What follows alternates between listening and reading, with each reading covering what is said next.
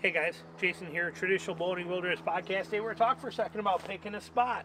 Okay, this is just a simple reminder for you, but um, you know, when I was just in my Midwest trip, um, you know, I ended up killing three deer and I uh, I missed four deer when I was out there. And uh, you miss a deer, especially as an instinctive bow hunter, by not picking a spot. You guys that are gap shooters and you can take your arrow and you can offset that and you can line that up or you do all that string walking or you anchor down here and you look way down the arrow shaft. You guys have an, a, a reference point of aiming okay? There's an aiming system to that. That's what you've developed is that that sort of a actual aim type method and it works for you. But you come back and you either anchor way up here um, or like I said you put that gap way down here and you can string walk above that or whatever your method is you guys have an aiming system. Us as instinctive shooters we don't aim anything. We stare at a spot we want to shoot and then we turn our cell phone off.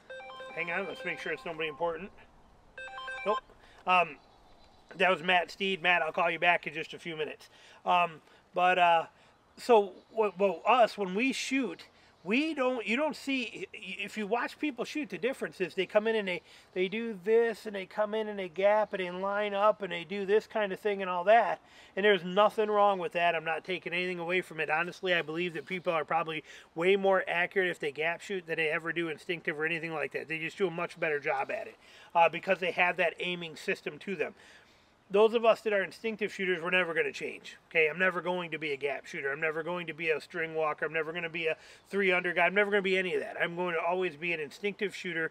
Um, and as an instinctive shooter, what happens for us is we are different. Okay, we don't we don't see the deer come up, draw in, and then line up where we need to be, and then fire. We don't do that. Ours is you watch my eyes. This is how it's done right here. Boom, I lock on the spot I want to shoot.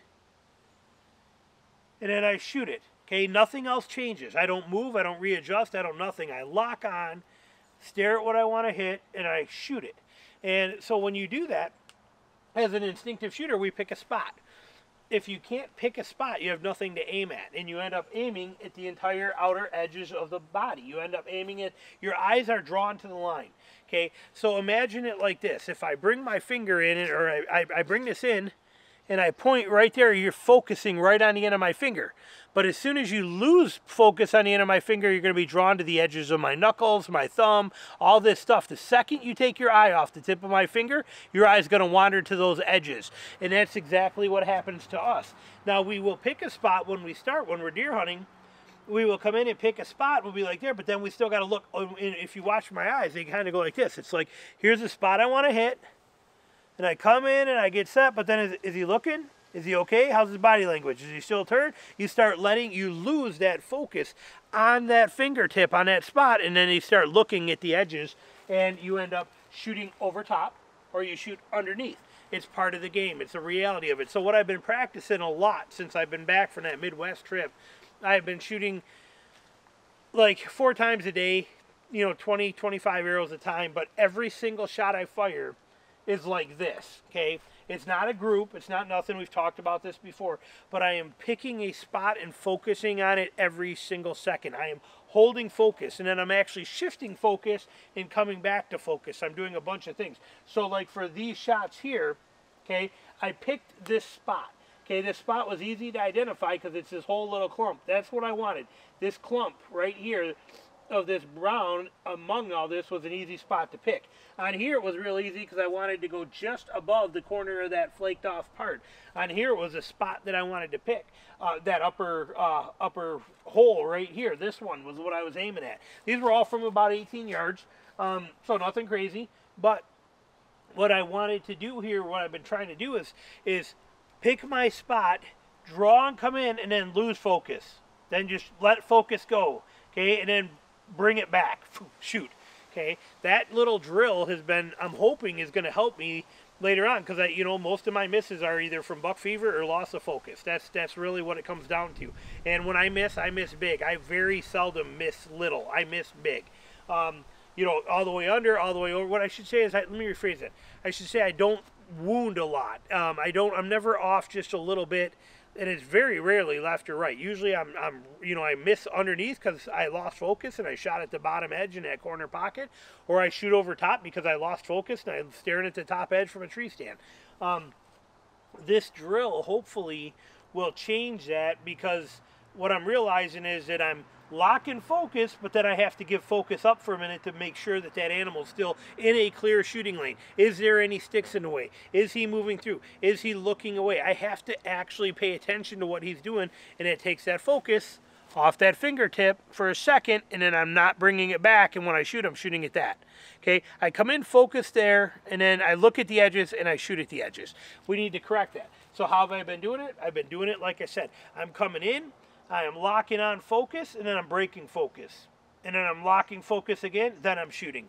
Um, so it, it is happening quick, but what it's doing for me is it is making sure that the second before that arrow goes off, I have re-engaged my focus. So I'm going from here to here, back to there, shooting.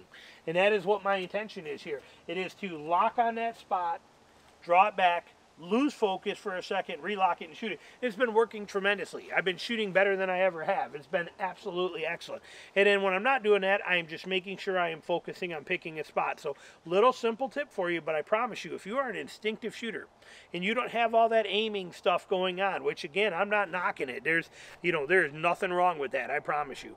Um, but if you're an instinctive shooter, that picking a spot is that crucial. Even for you gap shooters and stuff, you got to pick that spot and line it up, but it's, it's a lot easier. It's almost like a sight pin.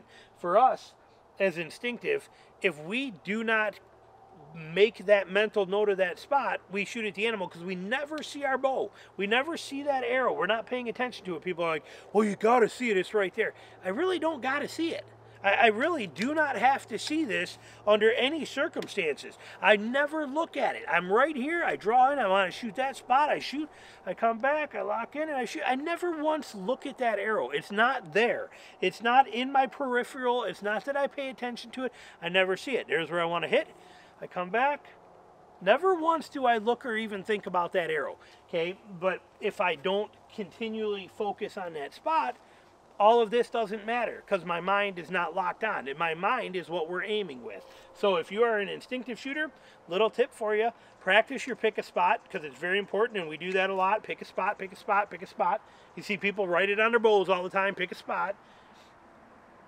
But if you want to take that one step further, practice picking a spot, letting it go, gathering it again, and then shooting. And it can be done very quickly. But it's a, it's a big factor. But remember, we need to shoot that, not that.